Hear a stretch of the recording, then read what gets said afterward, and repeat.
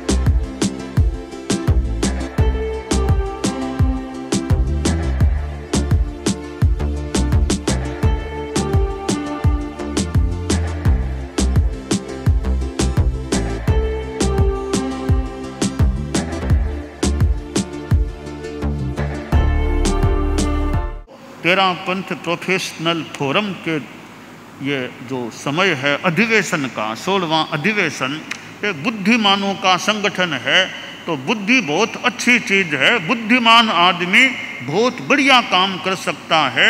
बुद्धिमान आदमी समस्या को सुलझा सकता है। तो कहीं बुद्धिमान आदमी बुद्धि का ठीक उपयोग न करे तो समस्या को पैदा भी करने का प्रयास हो सकता है। तो ये जो विषय दिया गया, लघुता से प्रभुता मिले कि आदमी लघुता का उपयोग करे। लघुता किस रूप में हो? आचरणों में छोटा नहीं। आदमी घमंड से बचता है, घमंड से बचने वाला उत्थान कर सकता है। हल्की चीज़ ऊपर उठ सकती है, धुआँ ऊपर जाता है। धुआँ हल्का है तो ऊपर जाता है।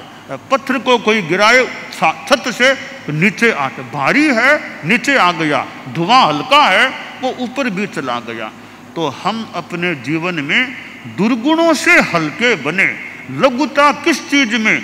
दुर्गुणों में लघुता आए। दुर्गुणों का अभाव बढ़े, सद्गुणों का विकास हो तो आदमी प्रभुता को, महानता को, उच्चता को भी प्राप्त हो सकता है।